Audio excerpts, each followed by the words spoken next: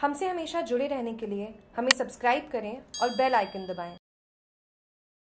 कोसेला के आयकर विभाग की दबिश तखतगढ़ के समीपवर्ती कोसेला गाँव के बस स्टैंड पर एक कॉम्प्लेक्स के मालिक के प्रतिष्ठानों पर मंगलवार को आयकर विभाग के दो दलों ने दबिश देकर 40 लाख की अघोषित आय का खुलासा किया। देर रात विभाग ने अन्य कागजात एवं बही रिकॉर्ड भी जब्त किया। सुमेरपुर आयकर अधिकारी लक्ष्मीकांत बोरा ने बताया कि आयकर विभाग की बड़े शहरों के साथ साथ गाँव में भी आयकर चुक करवाने की प्रेरणा दी जा रही है।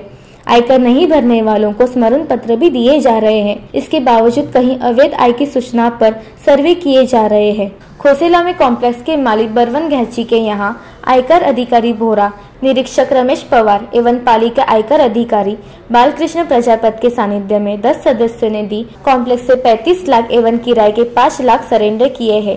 पालिका आयकर अधिकारी प्रजापत के साथ निरीक्षक सुनील कुमार एवं राजेंद्र सिंह के साथ पाँच लिपिक भी सर्वे में जुटे रहे। गाँव में टीम के पहुँचने पर टीमों की सर्वे की सूचना पर अनेक दुकानों में अफरा तफरी मच गई। एकाएक शाम को एक और टीम के आने की सूचना से घमा घमी रही। तखतगढ़ से जागरूक टीवी की रिपोर्ट।